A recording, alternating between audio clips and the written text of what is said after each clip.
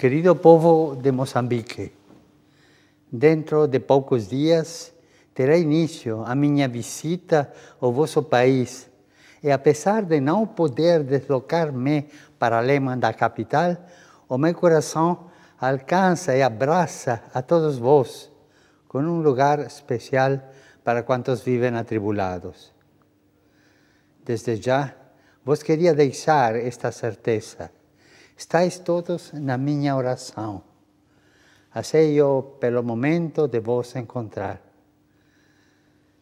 Tal como eu recebi e agradeço o convite do senhor presidente e dos meus irmãos bispos para ter convosco, assim estendo o convite a todos vós, para vos unirdes à minha oração, a fim de que o Deus de Pai de todos consolide a reconciliação, reconciliação fraterna em Moçambique e na África inteira, única esperança para uma paz firme e duradoura.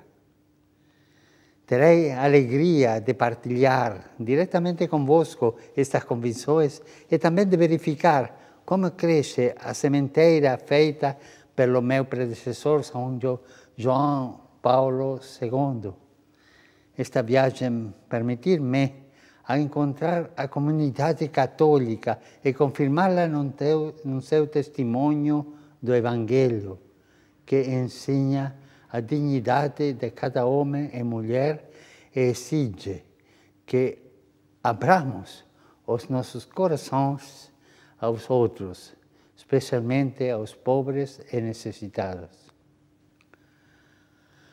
Queridos irmãos e irmãs, sei que muitos estão a trabalhar na preparação da minha visita, inclusive com a oferta de suas orações e de corações, les agradeço.